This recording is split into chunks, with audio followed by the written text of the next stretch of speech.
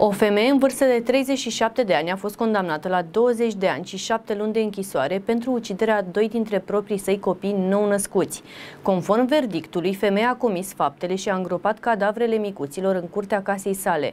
Sentința a fost pronunțată de instanța judecătorească după un proces care a atras atenția comunității.